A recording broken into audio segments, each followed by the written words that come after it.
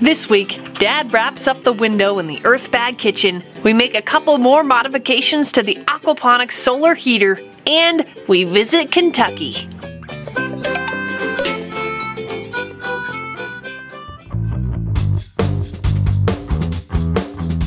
We're gonna go ahead and land these two together.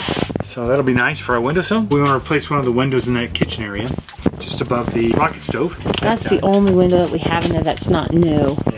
Four sheets of quarter inch, so that'll be the wrap around all of the windows, and then to trim around the windows. Over here, we got the one by two that we'll be trimming the windows in. Everything needs to be stained and Is this for the kitchen, Gareth? yes, Oh, okay. And it's not wide enough. That's why you need to glue it together. yes.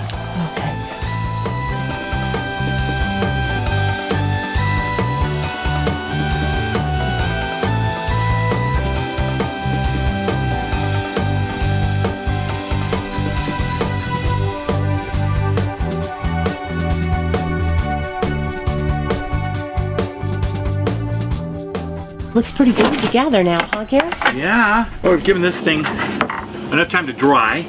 We have more work to do, but we'll get her all unwrapped and probably have to work on some sanding. So now what's the next steps? The next steps now is to cut it to length. It'll fit inside the windowsill. And then I have to kind of trim it back a little bit for the attachment to the sink. I have a little bit of a ridge here. I want to bring that down to flush. And it's kind of bowed a little bit, so I'll take a little bit off the two edges here to kind of flatten it out.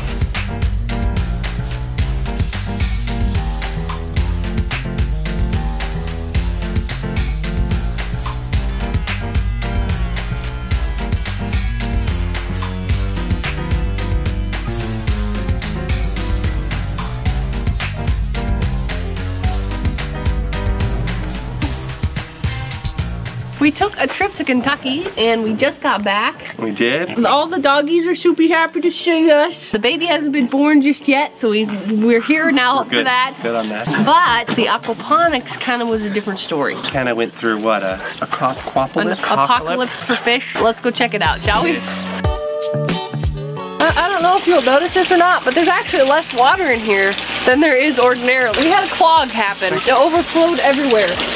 You leave for five minutes, you know. and Oh, so- well this one's still full. yeah. It is. It's almost half the water, but Hey, is that water warm coming out? it's almost 60 right now in the tank. Wow. Well, after more investigation, I'm pretty sure there's no fish in here. From what my brother was saying, he said it was a really cold night. That's what ended up clogging up the pipe was one of the fish, and it ended up overflowing. Either they're moving really fast and I just can't catch them because I can't see where I'm going, but I think we might have, I lost them. We're hoping there'll be some more in here though. Water's There- warm enough. There is a chance that there could be. I mean, the water, yeah, it's like 59, which is really good.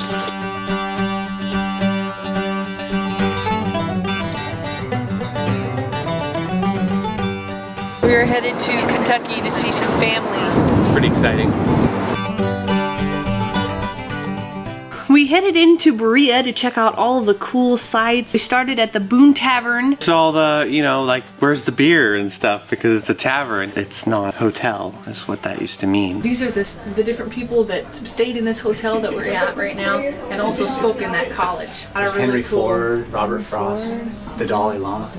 This hotel is a part of Berea College. Which we discovered was a very unique place. The students over the over the course of the hundred years or so, this hotel's been here. Made all of the furniture and the rooms here. It's really cool. All of the history and you know hands that have helped make this place go. It's really cool.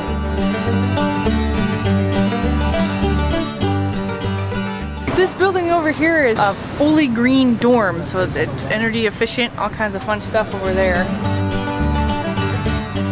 So this is the front of the building.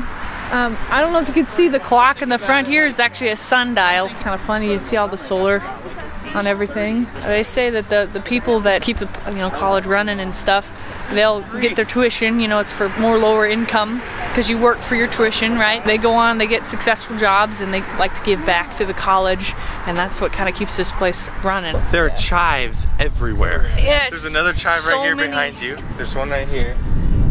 We're out hiking. I'm like, Bryson, these are chives. And I guess they are. They're everywhere. And What's they're so good. funny is we're growing them in our Yeah, that's the only reason why I knew what they were. I, I picked it up. I was like, this looks like a chive. And I spelled it. I'm like, this is a chive. I probably shouldn't eat chives by the side of the walk. Yeah, folks come from all over the world to go to college here. When you watch the people here talk about their town, how much pride, you know, they have in the place that they live, seeing that is, is really neat. Uh, we were going through a lot of these shops, seeing all kinds of things that people are making is it's just phenomenal. Love this. This is nice. I feel so butterfly.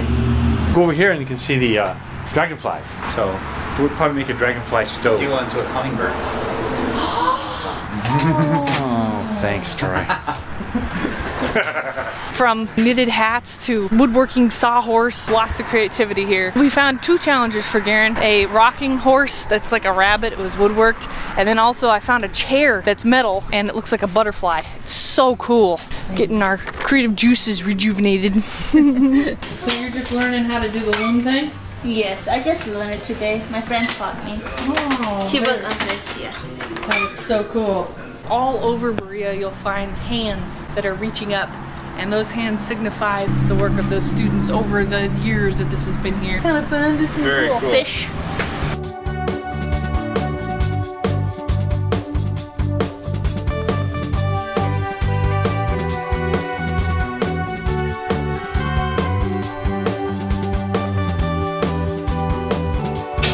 Is this it, Gary? Wow.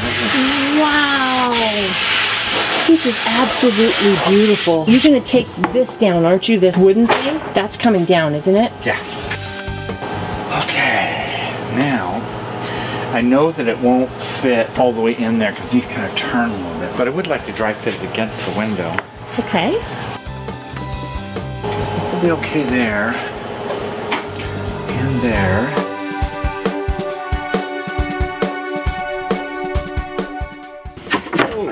Keep doing this until it fits, huh? Yeah, you just take a little bit off each time. Then you get a nice tight fit. Closer. You got it. Oh, is it gonna come over like that? Or is it gonna be under? The shelf, is it coming over the sink like that? Yeah. Ooh, I like that. That's beautiful. And then I'll block this in with a little trim piece underneath here. Okay.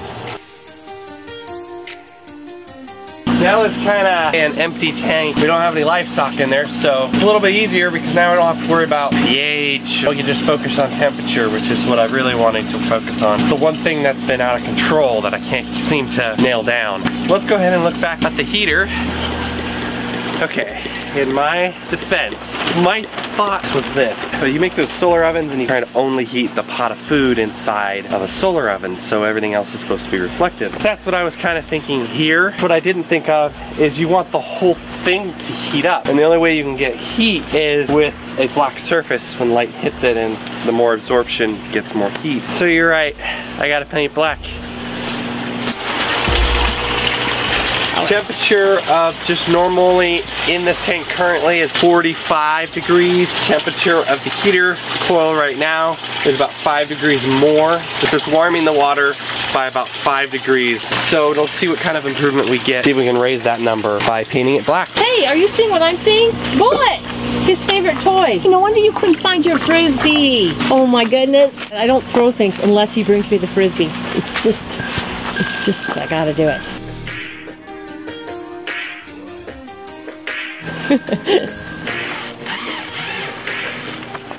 You've got those black things that hold the glass in. Yep. That's pretty cool. And you can get to it easy. I love it.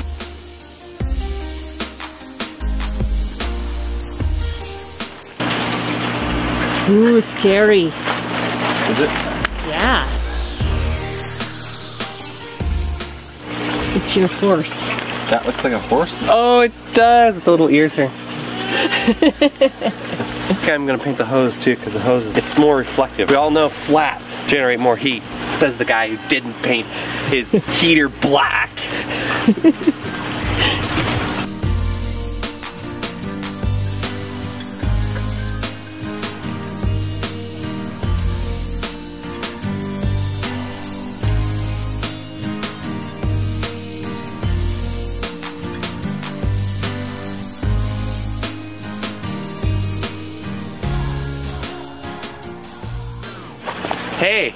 It actually looks like a solar heater now.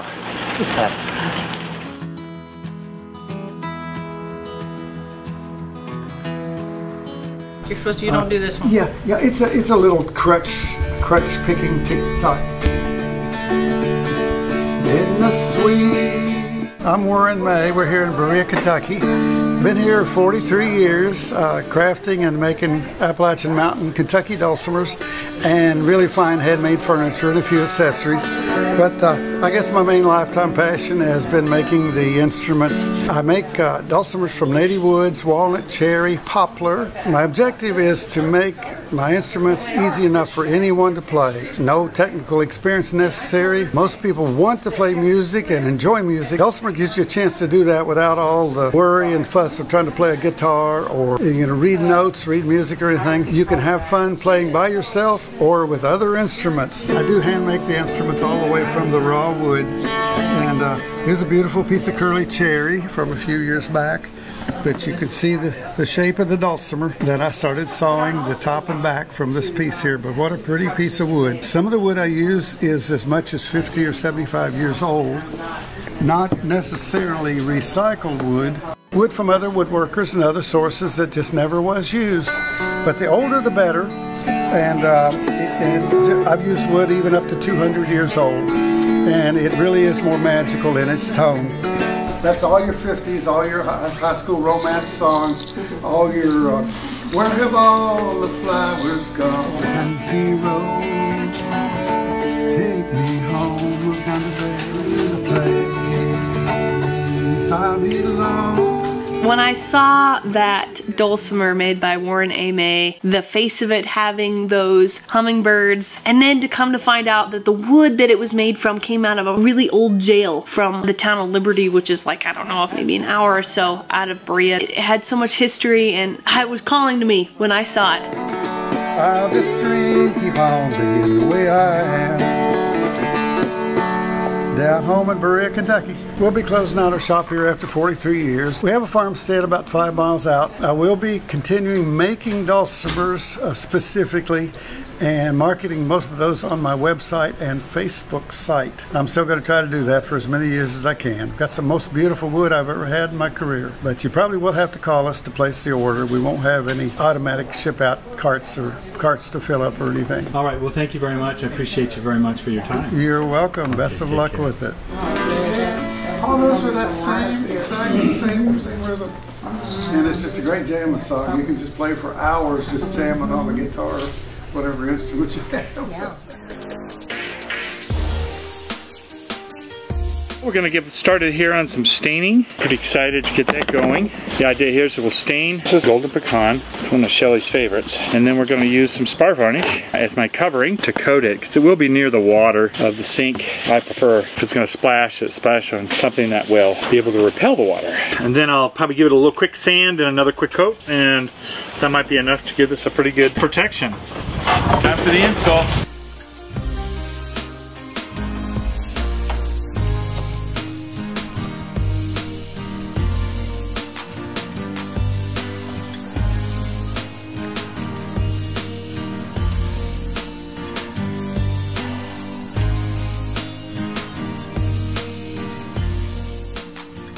Bree and I felt a little bit bad for Bryson. Get back from vacation and things are not working like he wanted them to. Yeah, unfortunately, all the stuff that he's worked so hard to do, it's kind of come to a head. Bree and I decided, you know, we need to get in here and give him a boost. So we thought up some ideas. Bree found these tiles. There'll be a little bit of storing of heat. We're gonna go ahead and put these tiles down and then we'll paint them black. And then he wants to store it up in the air. I'm gonna help him get that done.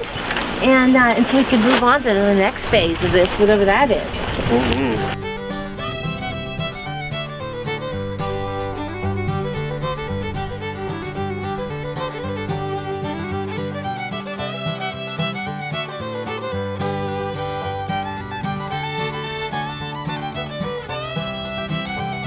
Since we got it, we were like, well, we gotta go see where this wood came from. So we all hopped in the car. We're to be uh, off on an adventure today to try to find the jail that the wood was taken out of to build this dulcimer, Liberty, Kentucky. So that is where we're headed today. It was likely that Jesse James at one time was jailed there. You never know. It might still be a working jail. It, it's Liberty. It can't be that big of a city, so we'll just drive around a couple times. We might bump right into it. Yeah, we're looking for something that doesn't have any lumber in it. We're in Casey County now. This is the county which this wood came out of from the dulcimer. Hopefully we'll see a jail somewhere. Be looking around, We're guys. on the epic quest and search for timber.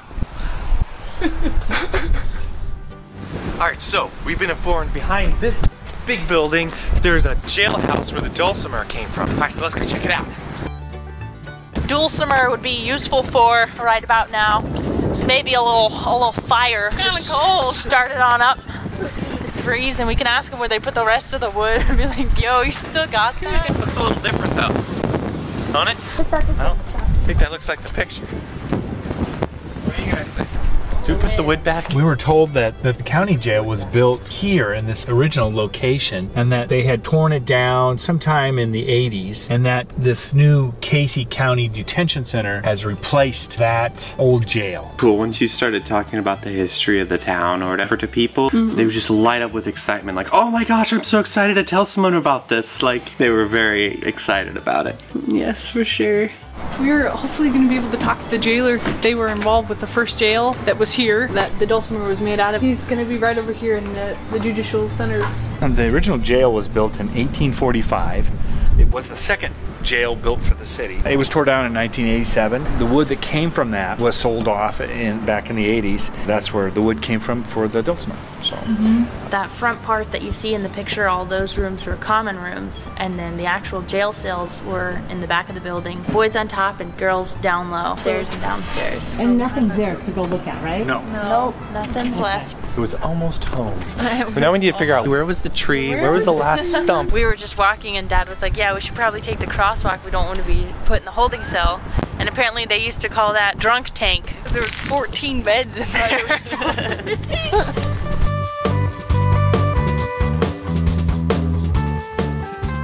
We got that tile all painted and then Bryson got it mounted up in the air. He's been wanting to mount it up so that it can catch more sunlight. It looks pretty cool up there, I think. Looks like it was made for that. I really think out of all the things that are going to help warm that water up, it is definitely going to be those tiles. Yeah, the black painted. tiles, that was just like the, the thing that just sent it over the top. Yeah. You're welcome, Bryson. and granted, he's done all the work. All we've done is slightly modify it. But if this modification works, he's never gonna hear the end of it. That's all I gotta say. Wait a minute. If my thing is 90% of that, And what are you trying it, to say? and it out there and it works, I just gotta say that 90% of my idea actually worked. Yeah, I don't know. I Yeah, think but it's the final 10% that really matters, don't you, well, it, it really won't matter because even if it's only 1%, he, we will not let him hear no. I, we had a percentage, uh, a part of it. That's really what matters.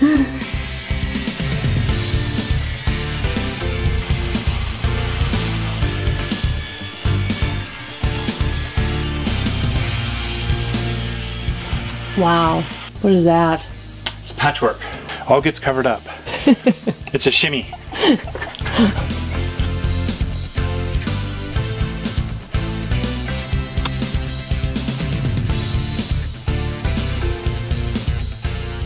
This turned out so beautiful, didn't it? Fantastic. I'm just really, really loving it. It's unbelievable. Just when I think the kitchen could not get any nicer, any prettier, and then it does. You know what else? I love the way the wood brings out these, Butcher blocks. yeah, the butcher blocks. They tie in really super nice that way too. Excellent job, Gary. Thank you. Just so pleased.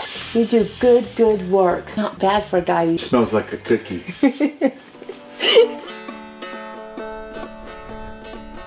In our desert, we have rivers, they're marked, they're named. do. There is no water in our creeks and rivers. I know that doesn't make sense, but it's literally like sand. Every time we see the word creek, we're like, yeah, okay. And then we look down, we're like, oh, there's water in it. Oh, look, guys, water. That is exciting. Hey, did you see that fish jump? Bryson was like, yeah, it probably doesn't flow all year. Our parents are like, you know, it's not normal for creeks and rivers not to flow. Like, you know that, right? And we're like, haha, good one. So uh, that's where we're off to now. We're gonna go see a lake.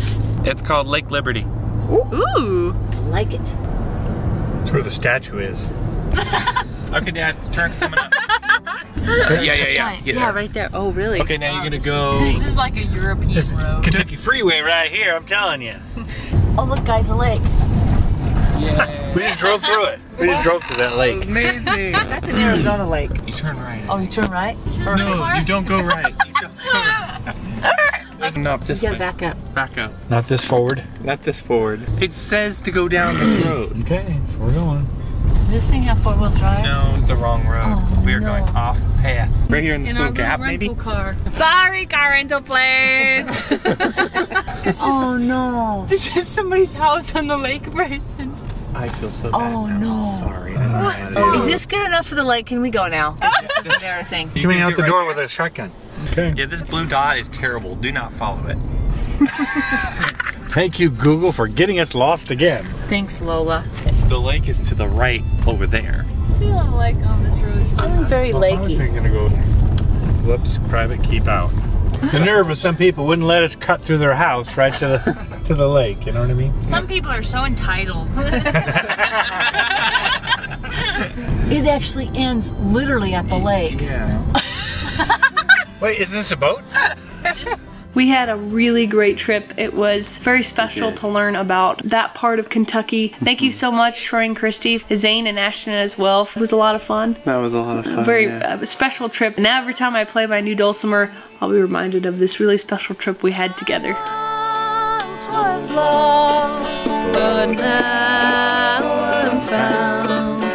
was lost,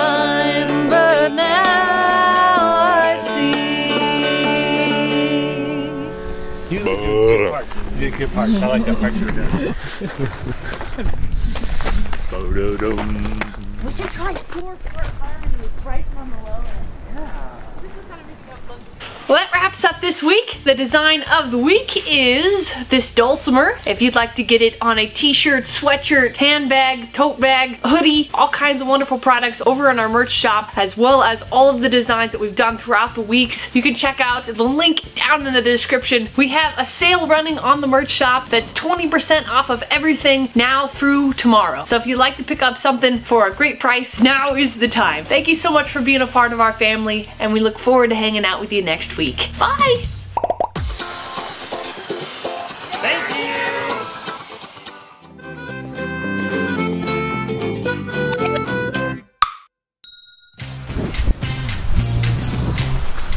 All right, so apparently behind this big building, there's a jail cell where the death, de- there's a, or not made, I'm sorry. It was where the wood came from.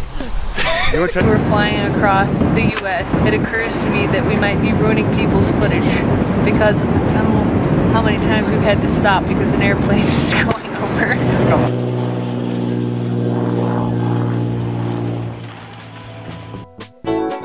Our family moved from the city to the country. Thanks for taking part in our adventure. We have new videos every Friday evening. If you would like to help us out, you can like this video, share it, subscribe, or support us on Patreon. See the links in the description. And I was playing with cards with them and I was just kind of talking like this and then I was like, oh wow, that's not me. Oh my There it is. goodness. Oh, wow. Oops. Oh my goodness. Oh my cow. Oh my goodness. That's it. That's it. That's it. That's the refine. oh my, oh my lordy. oh my lordy. Oh my lordy! Trying to talk like a real My Southern goodness. Belle. Oh, you fun kids. Oh my god. I, I know Ellie's mom used to go, oh my cows. She used to go, We'd be like, oh, Linda. Language.